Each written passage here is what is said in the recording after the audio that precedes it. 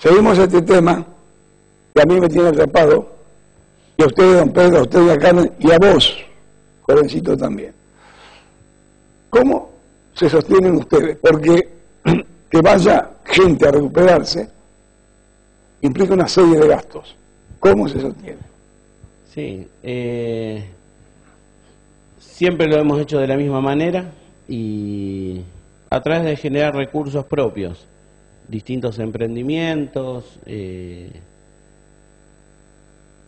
fabricación de, de masas, facturas, dulces, eh, se trabaja con, con, madera, se fabrican muebles, se fabrican espejos, eh, se hacen trabajos de herrería, siempre buscando, buscando esa, esa, esa posibilidad, digamos, esa alternativa como para, para solventarlo, porque bueno, los hogares son, son hogares que, que no, no tienen ayuda gubernamental, nunca la hemos tenido, eh, pero bueno, siempre fue a pulmón.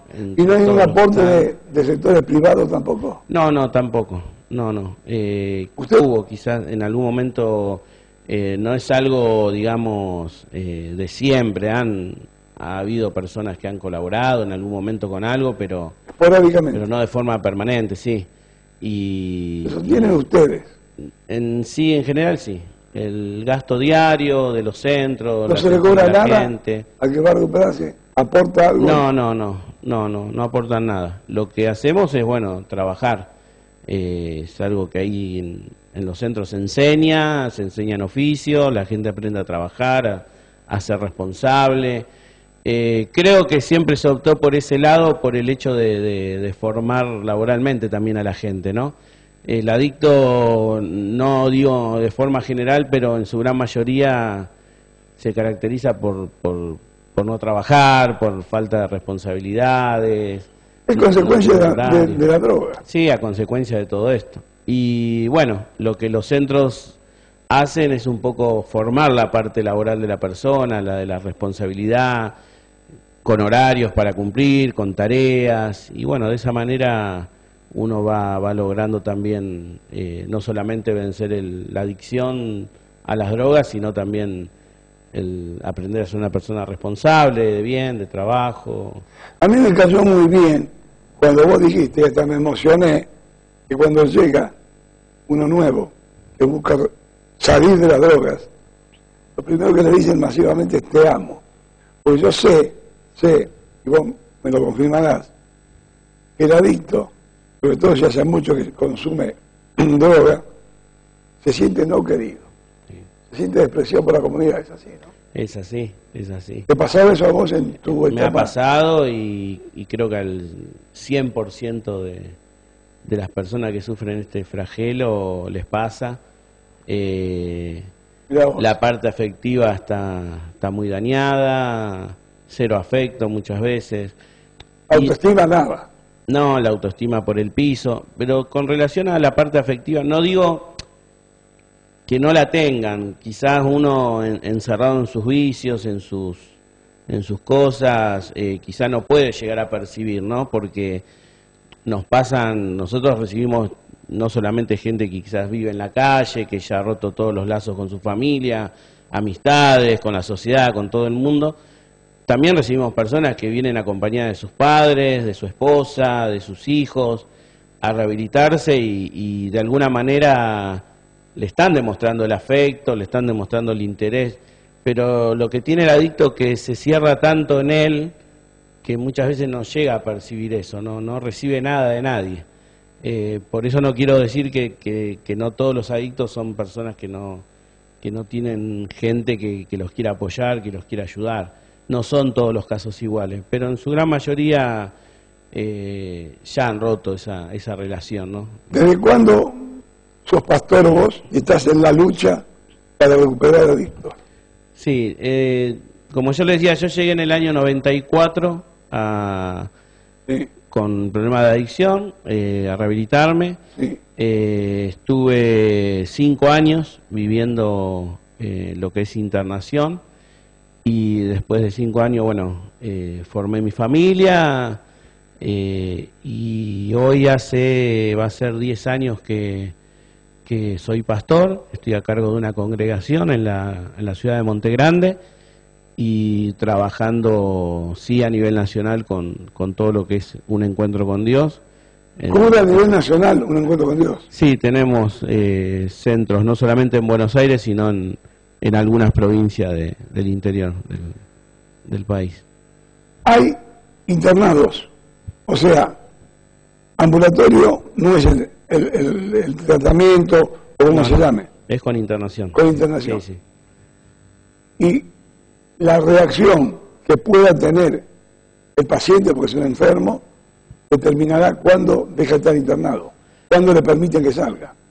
Eh, sí, tiene que ver, tiene que ver un poco con eso, tiene que ver con, con el tiempo es muy importante también. Eh, yo creo que una adicción de, de varios años en dos meses no se deja. Eh, una persona necesita ser tratada, necesita restaurar muchas cosas en su vida, en su parte interior también. Y, y lo que nosotros lo que no, no tenemos, digamos, no porque no lo hemos podido armar, sino porque vemos que cada caso es, es diferente, es particular. Eh, no es que tenemos un tratamiento armado para alguien decir, bueno, el tratamiento dura dos años y, y a los dos años vos salís de este lugar y ya no vas a volver más a consumir. Tiene No que- es es- esquemático, no es rígido. no, no, no. Es, es muy personal, eh, depende mucho de, de cada persona, eh, de, de- de la familia. Nosotros tenemos personas que tienen mucha, muy buena contención familiar. Hay personas que llegan que ya han perdido su familia, han perdido todo, nadie los puede contener. Quizás ellos necesitan estar un poco de más tiempo en, en el centro porque porque no es aconsejable quizás que salgan y estén solos a la deriva. Bien. Bueno, son difiere de cada uno, ¿no? A ver, por tu experiencia, Sí. ¿hubo o hay una época en que aumentó notoriamente el caudal de gente que recurrió a los servicios de ustedes? Porque aumentó también en el país masivamente el consumo. ¿Hay- ¿Hubo o hay una época así? Eh, sí, yo creo que esta época, eh, creo que, que el- por lo menos hasta donde uno puede conocer, eh, ¿Desde qué año? y en mi caso yo conocí la- las drogas en el año 86. No, no, pero eh, ahí. pero, pero creo que... ¿Desde cuándo el caudal, que en esta época es mayor que antes, cuándo empezó a ser mayor? No, no, por eso digo que las, yo creo que las cosas van de mal en peor con relación a lo que es el, el consumo de drogas. Actualmente. Actualmente la pasta base, el paco, eh, El más es algo muy destructivo, muy adictivo. Eh, creo que uno en la calle puede ver a los jóvenes que están esclavos de esa, de esa droga, cómo, cómo terminan, cómo afecta su sistema nervioso, su físico, su mente. Creo que en este tiempo se está viendo el- lo peor, digamos, de... Clarito, clarito como el agua. Te tengo que despedir. Dale. Se me acaba el tiempo. Solamente te pido con poder de síntesis para que ayuden los que quieran ayudar, y ojalá que haya muchos, muchos. Ya da un teléfono, da una dirección, da el dato que te parezca sintéticamente para que aporten lo que quieren aportar en favor de la lucha de ustedes. Bien. Eh, un teléfono es 011-4260-0082. Ese es el teléfono de nuestra oficina central. 4260-0082 con el 011 si llaman del interior, ¿qué más? Bien. eh, y si no, personalmente, Pasco. eh, Avenida Vaperón, 3438 Temperley, de lunes a viernes de 9 a 17 horas. En ese horario siempre hay alguien para atenderlo. Gracias. Que Dios te bendiga a vos y a tu institución. Muchísimas gracias, Julio. Gracias por la invitación. Gracias. Nos vamos muy brevemente, pero muy cortito, muy cortito, ya estoy tirando todo. Les digo a ustedes que AISA, como lo dice acá, está más cerca que nunca. Más cerca que nunca. Y AISA le pide a usted que colabore. ¿Cómo? No dilapidando el agua. Ah, y no usen el inodoro de basurero, no tiren papeles ahí. AISA, aguas y servicios argentinos.